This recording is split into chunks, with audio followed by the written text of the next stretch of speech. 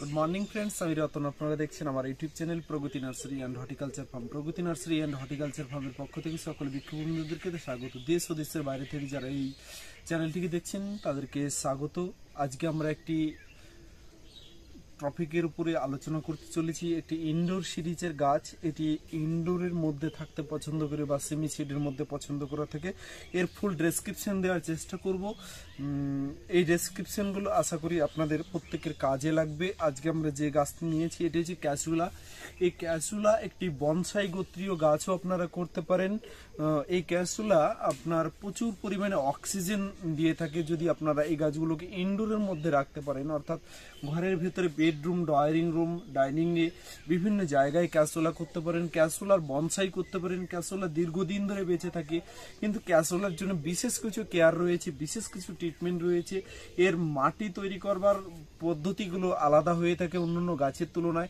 এই সমস্ত ব্যাপারগুলো যদি আপনারা একটু ফ্ল করেন বা এই ব্যাপারগুলোর দিকে যদি একটু নজর দিয়ে ক্যাচুলার জন্য সয়েল প্রিপারেশন করে থাকেন সেক্ষেত্রে ক্যাচুলা একটি দশ বছর বা, উম, লংজিভিটি থাকতে পারে।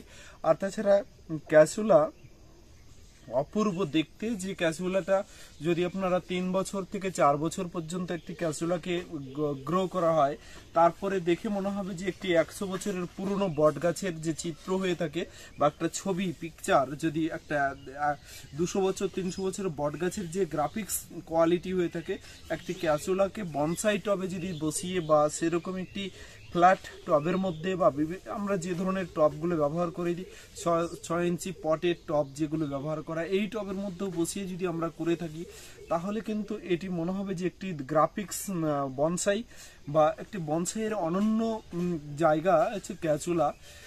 এর রেটও একটু ভালো হয়ে থাকে, অর্থাৎ এই ক্যাচুলাগুলো প্রায় একশো থেকে দেড়শো টাকার মধ্যে পাওয়া যায় মার্কেটে খোলা খোলা চলতি বাজারে। তো এই ক্যাচুলা কে কীভাবে মাটি তৈরি করব?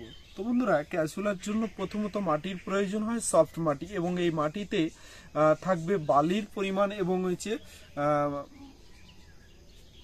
ফিফটি পার্সেন্ট সেই সঙ্গে থাকবে, সঙ্গে সঙ্গে থাকবে মাটি, অর্থাৎ হচ্ছে গার্ডেন সয়েল থাকবে থার্টি পার্সেন্ট এবং বাকি fifty percent twenty five percent থাকবে হচ্ছে আপনার জৈব সার। অর্থাৎ এখানে আপনারা দিতে পারেন গোবর সার। গোবর সার দিলে অবশ্যই তাকে রোদে প্রসেসিং করে দেবেন এবং আর সেই সঙ্গে আপনারা ব্যবহার করতে পারেন ভার্মি কম্পোস্ট তো এইভাবে এই ক্যাসোলার মাটিকে বালি এবং মাটি, জৈব সার এবং হাড়গুঁড়ো, সিংকুচো এই মাটিগুলো দিয়ে মিক্স করিয়ে হালকা করে জল ছিটিয়ে তাতে রেখে দেবেন দশ থেকে পনেরো দিন। একটি পলিথিন ঢাকা দিয়ে সেখানে ঢাকা হওয়ার পরে দশ পনেরো দিন পরে সে মাটিটা তুলে নিয়ে এসে টবে সেট করে একটি ক্যাসুলাকে বসাবেন এবং এই ক্যাসুলাকে প্রচুর পরিমাণে জল দেবেন না। ক্যাচুলার যেরকম জল প্রয়োজন সেরকম জল দেবেন।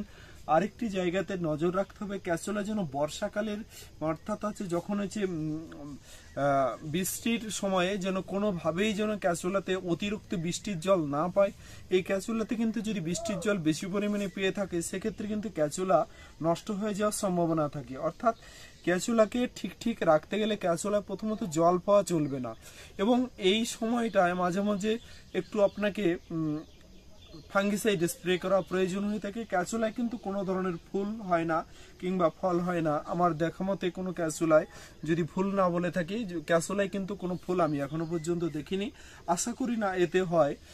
এবং এটি একটি একটি সৌন্দর্যায়ন গাছ, ঘরের সৌন্দর্য বৃদ্ধিতে বা কাজে লাগে থাকে এবং এর গঠনগত আকৃতি একে বনসাইয়ের রূপ দিতে পারেন।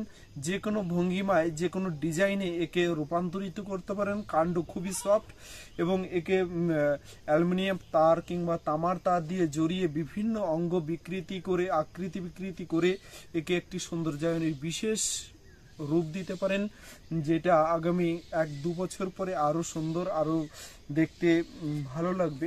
এইভাবে যদি আপনারা ক্যাজুলাকে মেনটেন্স করতে পারেন বা ক্যাচুলায় জল কম দিন ফাঙ্গিসাইড ইউজ করুন, একটি ক্যাচুলা দীর্ঘদিন পরে থাকবে এবং এক দু বছর পরে সেই ক্যাচুলার রিপোর্টিং করুন এবং রিপোর্টিংয়ের ভিডিও আমরা দেখাবো পরবর্তীতে যে কীভাবে ক্যাচুলার জন্য রিপোর্টিং করবেন এবং এই ক্যাচুয়ালাকে ডেভেলপমেন্ট করার জন্য ক্যাচুয়ালার যদি কোনো প্রবলেম হয়ে থাকে আপনাদের সেক্ষেত্রে আপনারা আমাদেরকে ইনফরমেশন করবেন। আমরা সেই প্রবলেমগুলো নিয়ে মূলত আবার একটি নতুন ভিডিওতে দেখা করব।